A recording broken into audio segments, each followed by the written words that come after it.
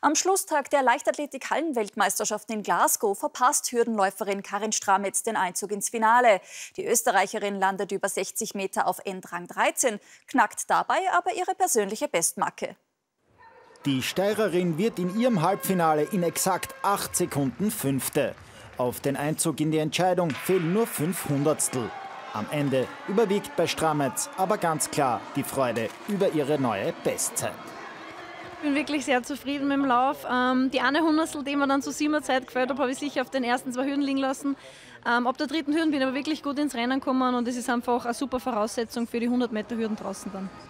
Der Sieg geht an Divine Charlton. Die Läuferin von den Bahamas triumphiert in herausragenden 7,65 und verbessert ihren eigenen Weltrekord, den sie erst Mitte Februar aufgestellt hat, um zwei Hundertstel.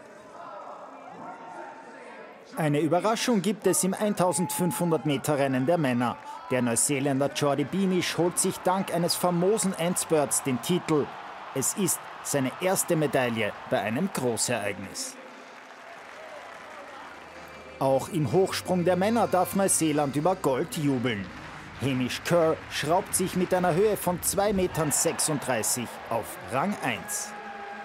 Beim 4x400 Meter Staffellauf der Frauen werden die Niederländerinnen ihrer Favoritenrolle gerecht. Für Schlussläuferin Femke Bohl ist es die zweite Goldmedaille bei dieser WM.